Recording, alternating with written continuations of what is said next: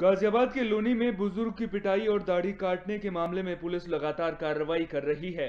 उसी कड़ी में अब पुलिस ने मुख्य आरोपी प्रवेश गुर्जर और उसके साथी कल्लू गुर्जर पर गैंगस्टर एक्ट लगाया है। बता दें कि लोनी में एक बुज़ुर्ग की पिटाई और दाढ़ी काटने का वीडियो तेज़ी से वायरल हुआ था। मामले में पुलिस कई आरोपियों को गिरफ़्तार कर चुकी है। आज थाना लोनी बॉर्डर पुलिस के द्वारा प्रवेश गुजर एवं कल्लू गुजर के विरुद्ध यूपी गैंगस्टर एक्ट के अंतर्गत कार्रवाई की गई है। प्रवेश गुजर एवं कल्लू गुजर दोनों ही बुज़ुर्ग के साथ मारपीट और अभद्रता के मामले में अभियुक्त हैं। इसके अलावा पूर्व में भी इनके द्वारा कई आपराधिक कृत्य किए गए हैं जिनसे कि माहौल खराब होता है और इस कारण से इन दोनों के विरुद्ध गैंगस्टर एक्ट के अंतर्गत कार्रवाई की गई है और भी कठोर कार्रवाई इन दोनों के विरुद्ध आगे भविष्य में की जाएगी।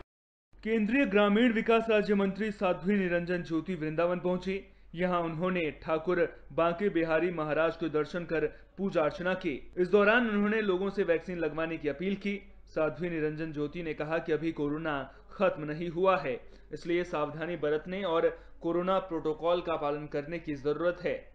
धर्मांतरण मामले पर उन्होंने कहा कि धर्मांतरण पहले भी होता था, लेकिन योगी सरकार में ऐसा करने वालों की पोल खुल रही है। कैबिनेट की बैठक मंत्रिपरिषद की बैठक, हम लोगों की सरकार है। तो सरकार में बैठकें होती हैं। ये बात सही है कि जिस तेज गति से वैक्सीन का काम हुआ है और ये मैं आपके माध्यम से आग्रह भी करती हूँ कि भयभीत नहीं हूँ। तैंतीस करोड़ के लगभग लोग लगवा चुके हैं। कुछ होना होता तो तैंतीस करोड़ लग, लोग लगवाते ही नहीं। एक सुरक्षित वैक्सीन है कोई दिक्कत नहीं है। मैं आग्रह करती हूँ सबसे कि जब भी आपकी बारी आए वैक्सीन ज़रूर लगवाएँ और दूसरों को प्रेरित करें। क्योंकि एक यही है हमारे कोरोना जैसी महामारी से बचने का कवच। और प्रोटोकॉल का भी पालन करें जो एक कोरोना का प्रोटोकॉल है मास्क ज़रूर पहने। और सावधानियाँ बरतें क्योंकि अभी कोरोना गया नहीं है। ऐसा मत सोचे कि कोरोना चला गया है। हमें अभी बहुत सावधानी बरतने की ज़रूरत है। मैं आपके चैनल के माध्यम से आग्रह करती हूँ कि काम भी करें और सावधानी भी बरतें। धर्मांतरण को लेकर दीदी जो है डेली नए केस आ रहे निकल के आ रहे हैं क्या देखिए ये धर्मांतरण तो सिलसिला पहले से था। मैं बधाई देती हूँ माननीय मुख्यमंत्री योगी आदित्यनाथ जी को, जिन्होंने कठोरता से कदम उठाया है और धर्मांतरण करने वालों की अब पोल खुल रही है। अब मैं एक बात पूछना चाहती हूँ, देश के जितने भी सेकुलर लोग हैं, इस विषय पर क्यों नहीं बोलते? धर्मांतरण तो धर्मांतरण उसका विरोध करना चाहिए, चाहे कोई भी हो। हम धर्मांतरण के पक्ष में नहीं है धर्मांतरण का विरोध होना चाहिए। और धर्मांतरण में जो पाए जाएँगे लिप्त पाए जाएँगे सरकार कठोर से कठोर उत्तर प्रदेश में तो जनसंख्या बदल नियंत्रण का कानून ला रहे हैं सेंट्रल में कब आएगा? वो विषय आएगा तब आएगा। आना आना चाहिए बस। निशा समाज के लोगों ने पार्टी छोड़ी इसके बारे में क्या कहेंगे? देखिए व्यक्तिगत मैं किसी पर टीका टिप्पणी नहीं करती हूँ स्वेच्छा जिसकी है। प्रजातांत्रिक देश है। कोई कहीं जा सकता है किसी पर कोई प्रतिबंध नहीं है।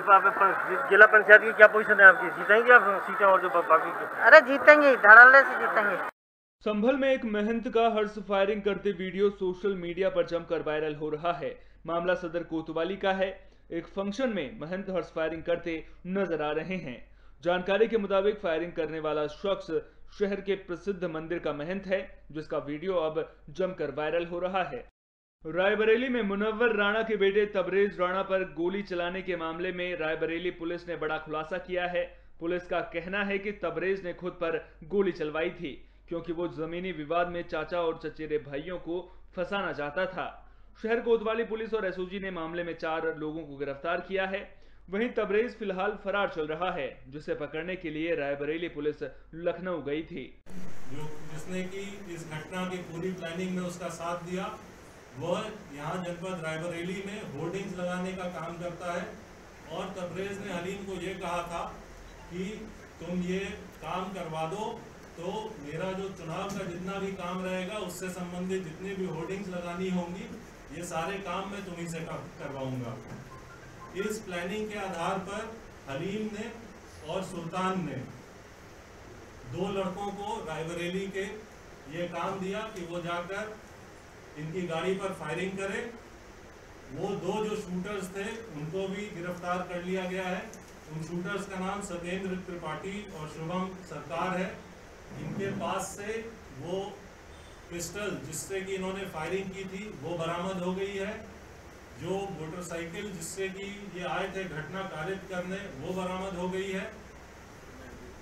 ये जो कपड़े पहन के वहाँ पे आए थे, वो बरामद हो गया है। सीसीटीवी फुटेज के आधार पे इनकी शिनाख्त कर ली गई है। इसी जाँच के क्रम में ये भी पाया गया कि होटल के कुछ फुटेज हैं हमारे पास, जिसमें कि तबरेज हलीम और अन्य साथियों के साथ प्लानिंग करता हुआ दिख रहा है। एक और बात इसमें प्रकाश में आई कि तबरेज द्वारा एक सिम अलग से लिया गया था, जिससे कि सिर्फ़ और सिर्फ़ हलीम से बातचीत की गई और इस घटना की पूरी प्लानिंग की गई। इसके अलावा भी हमारे पास कुछ साक्ष्य हैं जो कि यहाँ बताना उचित नहीं होगा क्योंकि वो विवेचना को प्रभावित कर सकते हैं, जिसे हम न्यायालय के समक्ष प्रस्तुत करेंगे। अब तक हम लोग चार लोगों की गिरफ्तारी, जो दो जो कि शूटर्स थे, उन दोनों की, दो जो कि प्लानर्स थे शूटर्स के नाम सत्येंद्र त्रिपाठी और शुभम सरकार हैं, जिनको गिरफ़्तार किया गया है। प्लानर्स के नाम हलीम और सुल्तान हैं, जिन्हें गिरफ़्तार किया गया है। इनके पूछताछ के आधार पे सीसीटीवी फुटेज के आधार पे जो अन्य टेक्निकल एविडेंस हमें मिले हैं, उनके आधार पे इन्हें न्यायिक अभिरक्षा में भेजा जा रहा है। तबरेज आज के डेट में हमारा वांछित है, जिसके गिरफ्तारी के प्रयास किए जा रहे हैं और जल्द से जल्द उसे भी गिरफ़्तार किया जाएगा। प्रयागराज में हफ़्ते भर पहले सड़क हादसे में घायल सहसो ब्लॉक के कनौजा खुर्द गाँव के प्रधान की इलाज के दौरान अस्पताल में मौत हो गई। वहीं मृतक प्रधान के भाई ने चुनावी रंजिश के चलते हत्या का आरोप लगाया है। बता दें कि हफ़्ते भर पहले बहरिया में भतीजी के बर्थडे पार्टी के बाद प्रधान बाइक से लौट रहे थे। इसी दौरान चैमलपुर गाँव के सामने अज्ञात वाहन की चपेट में आने से वे गंभीर रूप से घायल हो गए थे, जिनकी इलाज के दौरान अस्पताल में मौत हो गई। परिजनों ने चुनावी रंजिश में हत्या का आरोप लगाते हुए बाबूगंज बाज़ार में शव को रखकर चक्काजाम कर दिया। इस दौरान पुलिस और ग्रामीणों के बीच झड़प भी हुई और ग्रामीणों ने पुलिस पर पथराव कर दिया, जिसमें सराय इनायत थानाध्यक्ष को गंभीर चोट आई है, जिसके बाद पाँच थानों की पुलिस ने मोर्चा संभाला, तब जाकर प्रदर्शन खत्म हुआ। झांसी के मऊरानीपुर में एक युवक ने शक के चलते पत्नी की गला रेत कर हत्या कर दी। जानकारी के मुताबिक दोनों के बीच विवाद हुआ था। जिसके बाद गुस्से में आकर युवक ने वारदात को अंजाम दिया। मृतका के परिजनों ने बताया कि युवक अक्सर उनकी बेटी को परेशान करता था और शक के चलते किसी से बात नहीं करने देता था। परिजनों ने ससुराल वालों पर प्रताड़ित करने का आरोप लगाया है। आपने क्या घटना की है? मुझे वो जरा वो गला काट दिया उनका। क्यों काट दिया? उनका चरित्र थोड़ी खराब लगता था। चरित्र। अच्छा ये कब से लग रहा था आपको? लगभग दो महीना हो गया। आपको शक कहाँ हुआ था? शक हुआ तो सबसे पहले हमको हमारी ससुराल में। ससुराल से? जी। जी। मिर्जापुर से। तो उसके बाद उन्हें डांटा हम्म, ये गलत है ऐसा नहीं होता है। हम्म, रास्ते में झगड़ा हुआ। हम्म, घर पे आए। उन्होंने फिर कहा नहीं मानी। धीरे धीरे दुनिया बस। तो कल रात में क्या हुआ था कल रात में यही हुआ कि बस जो दूध लाया था बच- बच्चा लाया तो छूटा वाला। हम्म, तो उन्होंने जो है पानी मिलाया जैसे मान लो चालीस रुपये का आता है तो उसमें थोड़ा सा पानी मिल जाता है। हम्म। तो एक का सवाल जाता है। लाया पकड़ने रखा। हम्म, या तो पैर झड़ गया किसी के या फिर जो है मगोनियाँ गिर गई। वो भी तो रात में विवाद हुआ था आप लोगों का? मामूली शायद मेरे को हल्की हल्की आवाज़ से वो अभी तो हम बहुत तेज बोल रहे और हल्की आवाज़ से मतलब कुछ पूछा था हमने उनसे। हम्म, क्यों ऐसी बात? नहीं ऐसी कोई बात नहीं। हम्म। मत बोलना। अच्छा। ऐसी बात नहीं मतलब मतलब तो जैसे विवाद तो होते हैं लेकिन हाँ। आपको ऐसा क्यों लगा कि हम इनका हत्या कर दें? बच्चे भी हैं आपके छोटे छोटे मुझे गुस्सा आ गई थी बहुत ज़्यादा अच्छा जी गुस्सा आ गई फिर आप गला काटने के बाद कहाँ आए हम सीधे जो है थाने गए आप जैसे आप वाला है ना हम्म, ऐसे ही वो कहीं गए हम्म। क्या नाम है माता जी आपका सलमा कहाँ से हैं आप मिर्जापुर अच्छा ये जो मृतका है ये कौन थी आपकी हमारी लड़की थी वो क्या घटना है इनके साथ? इसके संग बहुत घटना हुआ बहुत ही हद से ऊपर। पहले पास परेशान करते थे फ़ोन से बात नहीं करने देते थे हम हम लोगों से। फ़ोन से बात करते थे युद्ध पे चिल्लाते थे अपना भौजाइयों से बात करने देते थे। दहेज मांगते थे हर वक्त दहेज के- करते थे। सास ससुर धमकी देते थे भाग जाओ घर से। लगाओ भगाने के उसको करते थे हमारे सामने कुछ जाओ मगर वो लड़की ने इतना सबर करके रहा कि रहा मगर उसको तो इसने एकदम से काट डाला पहले अरे हम तो फ़ोन करते हैं कि भाई अपनी लड़की को ले जाओ अपनी लड़की को ले आते हैं।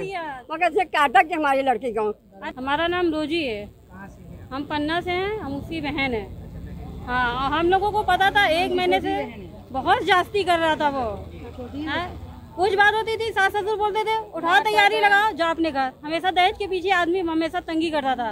अपने घर से ये लाओ माँ बाप से वो लाओ। अच्छा घटना से पहले आपकी बहन से बात हुई थी?